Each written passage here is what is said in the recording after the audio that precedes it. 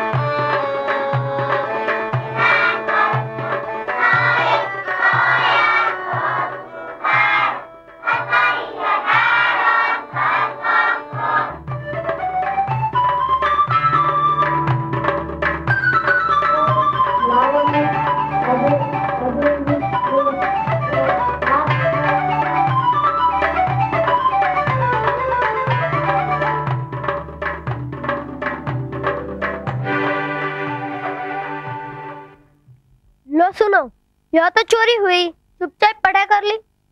लो, इसमें चोरी कैसी? पढ़ना लिखना कोई पाप थोड़ी है? यह तो ठीक है। तुम भी तो चुपके से काशी कुंभारिन के घर जाकर मिट्टी के बर्तन या मूर्तियों बनाती हो। क्या यह चोरी नहीं है? चुप। तुम्हारे भाई को ये अच्छा नहीं लगता है, इसलिए चुपचाप जाती हूँ। उनको ये काम नीचे स्तर का लगता है। ए भाभी, ये मूर्ति बनानी कहाँ से सीखी? बस ऐसे ही। अपने आप ही सीख लिया था। अरे भाभी मुझे तुम्हारी मूर्तियाँ बहुत अच्छी लगती है। वह पनिहारी मुझे देना, अपने पास रखूँगा। ला दूँगी हाँ कांति भैया? पर देखना, भाई को पता ना चले। हम्म यदि बड़े भाई को पता चल गया तो? तो? तो हो गई छुट्टी।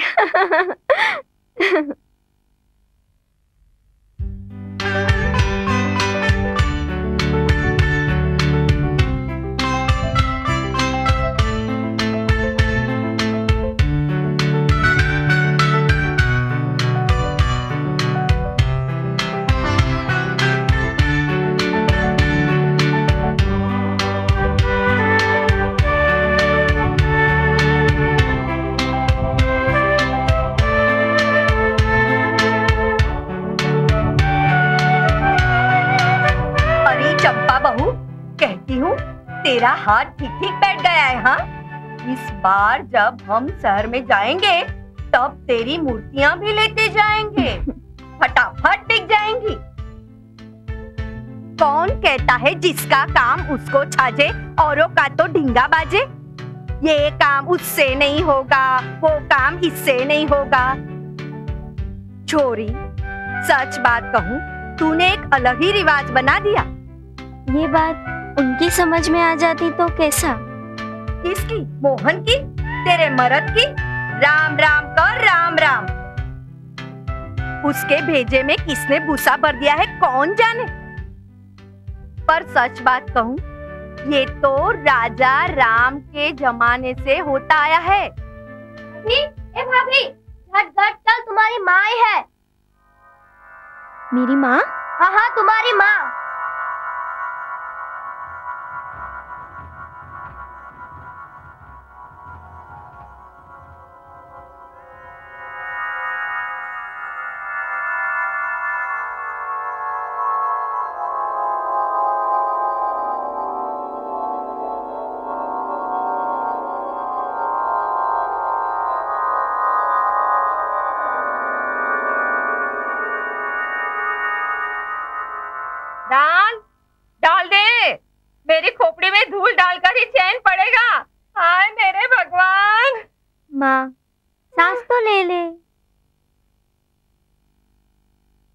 ऐसे अचानक क्यों आना पड़ा?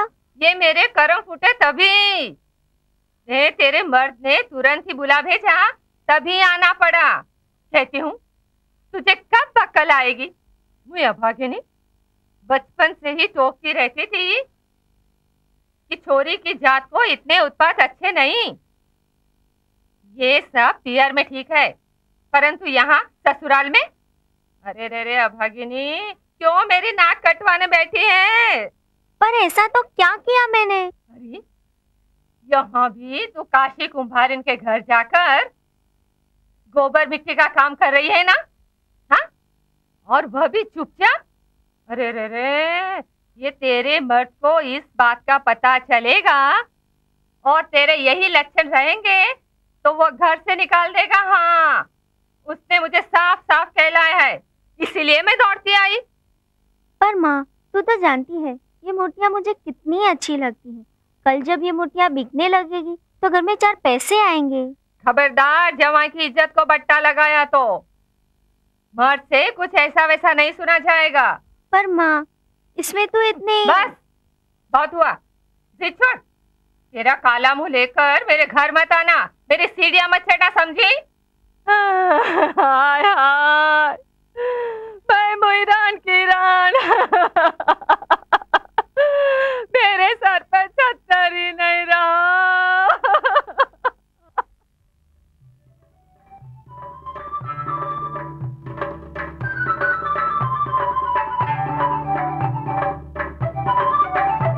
अरे हाँ भाभी तुमको कहना ही भूल गया। पंद्रह अगस्त को हमारी पाठशाला में प्रदर्शन है। दर्शन? किसका दर्शन? अरे भाभी दर्शन नहीं प्रदर्शन। हम में से जिसको जो बनाना आता होगा वह अपनी चीज़ें उसमें रखेगा। शहर के मेहमान देखने आएँगे और हम्म। अच्छी से अच्छी चीज़ को इनाम मिलेगा। मैं भी मूर्ति रखने वाला हूँ उसमें। मूर्ति? तुम बनाते हो? कब बनाई? मेरी कहा। मैं तो तुम्हारे वाली पनिहारी रखने वाला हूँ उसमें। छी ऐसी चोरी कांति भैया क्या हम ऐसा करें? चलो ऐसा करते हैं कि मैं तुम्हें मूर्ति बनाना सिखा दूँगी। तुम अपने आप ही रखना उस दर, प्रदर्शन में। हम्म, मुझे तुम जैसा नहीं आएगा। मुझे तो पहला इनाम लेना है। भैया पहले ये बताओ कि इनाम बड़ा कि सच्चाई?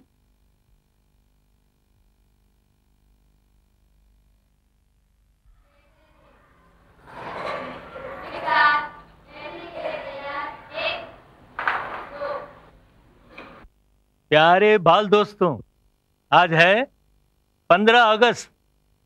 हाँ और तुम्हारी कला प्रदर्शनी का उद्घाटन, इनाम वितरण।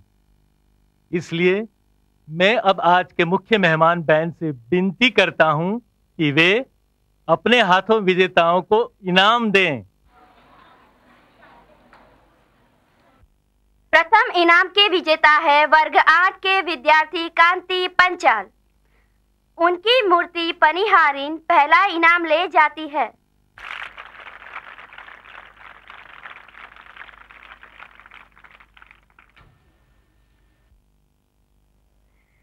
शाबाश बेटे शाबाश।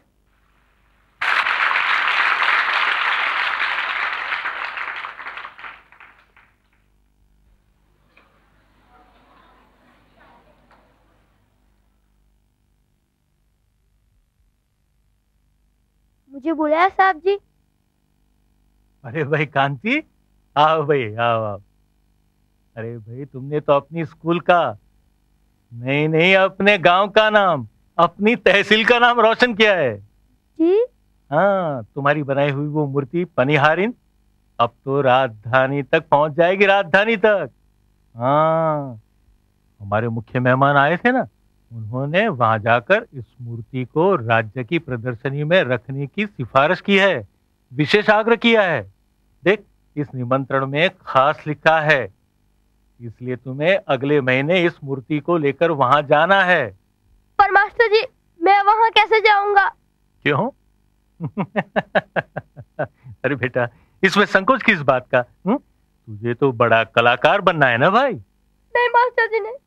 मूर्ति मेरी नहीं तो किसने बनाई?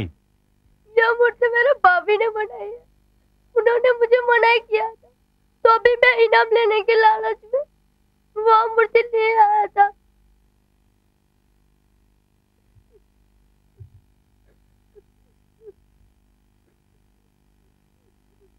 अच्छा अच्छा कांति बेटा रो मत। अच्छा हुआ कि तुमने ये सच कह दिया। मैं तो यह इनाम भी लौटा दूँगा। मुझे नहीं रखना अच्छा अच्छा। कांति क्या तेरी भाभी इन मूर्तियों को बनाती है? वो घर पर ही बनाती है ना? ऐसा होता होगा। भाई साहब को पता चले तो तो घर के बाहर निकाल दे।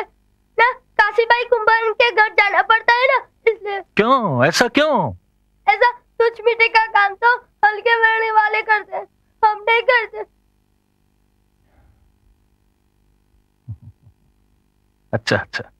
तू जा जा।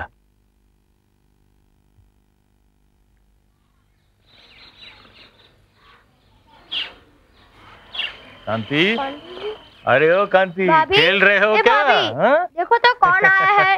हमारे मास्टर जी है शायद। अरे ठीक है ठीक है चलेगा चलेगा। ओके। आज तो तेरे हाथ की चाय पीनी पड़ेगी। हाँ। वाह।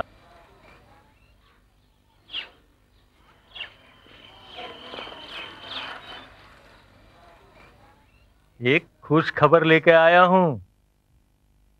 कांति ने तुमको इनाम की बात तो बताई ही होगी। हाँ पर अरे इसमें पर क्या? इस इनाम पर तो तेरा ही हक है। अब राज्य स्तर पर प्रदर्शनी होने वाली है। उसमें तुझे ही जाना पड़ेगा ना? नहीं नहीं आना कहानी तो नहीं चलेगी। तुम नहीं जाओगी तो गाँव की इज़्ज़त जाएगी। पर मास्टर जी आप इसके बड़े भैया को जानता हूँ जानता हूँ मुझे सब मालूम है। कांति ने विस्तार से मुझे बताया है। उसको समझाने का जिम्मा मेरा बस। नहीं। नहीं नहीं क्या? देख बेटा, इस जमाने में ऐसे विचार नहीं चलेंगे। कोई भी काम तुच्छ नहीं है। और ये सब क्या? है ये ऊंच वर्ण और ये नीच वर्ण। और सच में सभी मनुष्य समान हैं। और सब काम ऊँचे हैं। बेटा, एक बात तो समझ कि तुझे कितना बड़ा अवसर मिल रहा है। तुम्हारे सामने कितने ही रास्ते खुल जाएँगे। हाँ। हाँ मैं उसको समझा दूँगा। चलो मैं जाता हूँ। तू चिंता ना करना मोहन को अच्छी तरह समझा दूँगा। हाँ तेरी बनाई हुई दूसरी मूर्तियाँ भी मुझे देखनी है ना? राम राम। राम राम मास्टर जी। राम राम। वाह भाभी क्या कहने मैं अभी जाकर काशीबाई के घर से तुम्हारी सभी मूर्तियाँ ले आता हूँ। कांति भैया क्यों मेरा खून पीने बैठे हो?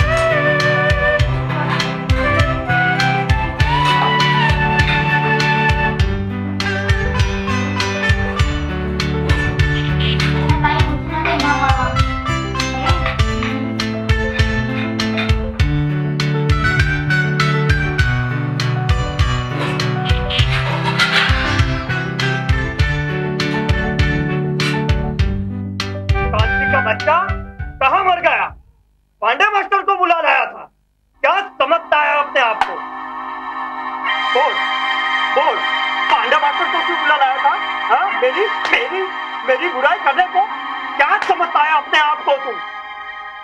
भाई जी ये तो लोकला में की मूर्ति की चुप चुप बड़ा आया का।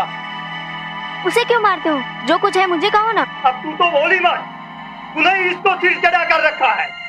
एक तो खुद हल्के नीचे वर्ण के काम करती है और अब ये भी। कहा है? कहा ये तेरी मूर्तियाँ? कहा छुपा कर रखी है? बड़ी कलाकार ना देखी हो तो? ऐसे हल्के वर्णे लोग की मूर्तियाँ कहा छुपा कर रखी है तू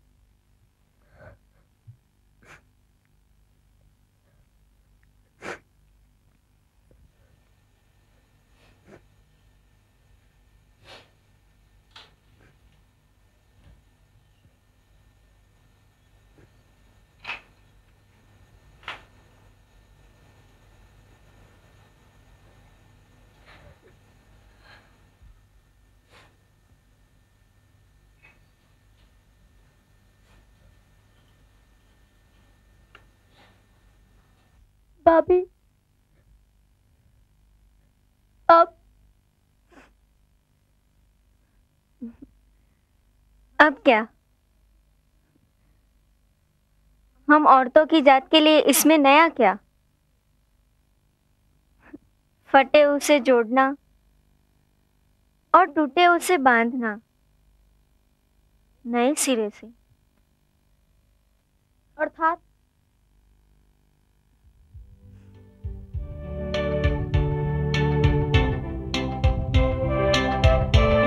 अब नए सिरे से मूर्ति बनाऊँगी